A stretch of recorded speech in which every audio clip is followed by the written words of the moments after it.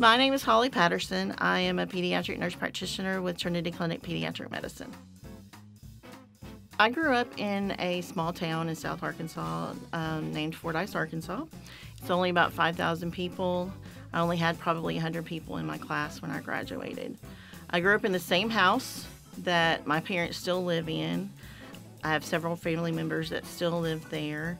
When you grow up in a small town, you learn that you know everyone and everybody knows you, but you also learn how to work hard. And you also learn and know how to not meet a stranger and that really helps me when I try to when I meet people new that come into my office. I think my mom was my biggest influence personally. My mom always taught us that we can do anything that we want to do, and there was no reason why we couldn't. My mom always supported our our dreams and aspirations. My mom was probably an influence on me in getting into medicine as well. She worked several years in the medical profession, lastly, being a nursing home administrator. I was able to see how she treated her patients, and I was able to see the compassion that she showed them. I can't remember when I decided to think about a career in medicine. I can't remember what prompted me exactly, but I also can't remember when I didn't want to be in medicine. I would say, if I had to guess, I would say probably elementary school. I was always good at science and I always studied hard.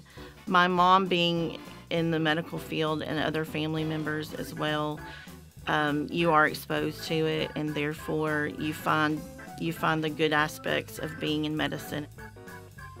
Pediatrics is fun. Pediatrics is hilarious sometimes. The kids are very honest and they'll say anything. But part of the reason why I wanted to go into pediatrics is because of the influence that you can make on kids and their health care. Trinity Clinic has provided me a really good opportunity to practice pediatric medicine. I work with an incredible group of men and women who are strong Christian and have strong Christian values and morals. They are also very supportive of me as a nurse practitioner.